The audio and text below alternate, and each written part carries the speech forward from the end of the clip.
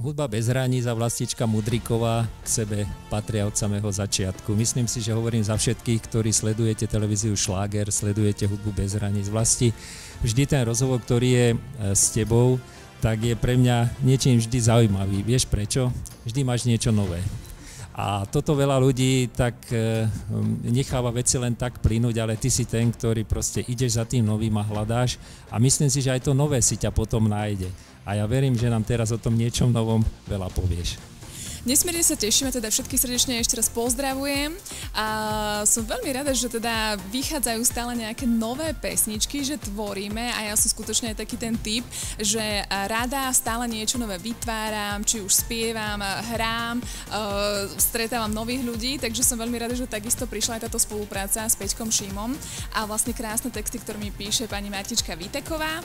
No a vznikajú skutočne nádherné piesne, ja som to tak nazvala, že vznikajú hity za hitom, pretože ja keď mám ísť vystupovať, ja normálne mám teraz aj problém, že ktorá pesnička zaznie, pretože je ich toľko krásnych, že ja potom neviem tou vylúčovacou metodou, že ktorú teda nedám a ktorú dám, pretože všetky sú tak prekrásne a som za ne nesmierne vďačná. No, ja si myslím, že um, si povedala úplne, úplne z duše možno, že mnohých, mnohých ľudí, ktorí to počúvajú. Skutočne sa stála, stáva taká vec, že čo vyjde z toho štúdia od pani Vitekovej a Petra Šímu je, ako by som povedal, možno prehnanie, by niekto povedal, že hovoríš to tak prehnanie. Nie, nemyslím to prehnanie, myslím to úplne otvorené, že to proste skoro už hit a, a práve ten tvoj hlas tam k tomu pasoval a myslím si, že všetci majú radosť z toho, že to spojenie je úžasné.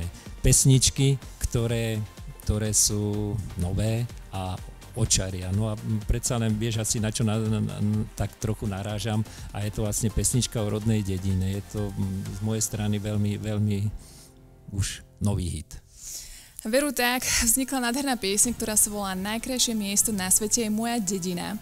Eh, je to pieseň, ktorá je tak veľmi citlivo spracovaná, textovo, ale aj melodicky, že eh, ľudia, keď si ju vypočujú, tak mi vždy hovoria, eh, že proste majú slzy na krajičku, že ich to veľmi dojíma, pretože tie emócie sú veľmi silné. A taktiež nie len táto pieseň, ale vznikli nádherné piesne, napríklad také gratulačné pre otca a takisto aj pre maminu.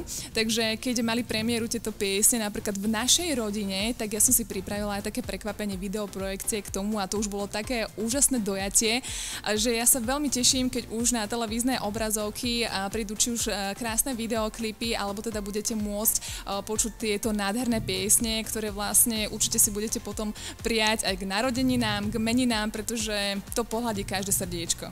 No a my sa budeme tešiť na vlastičku Mudríkovú hudbe bez hraníc.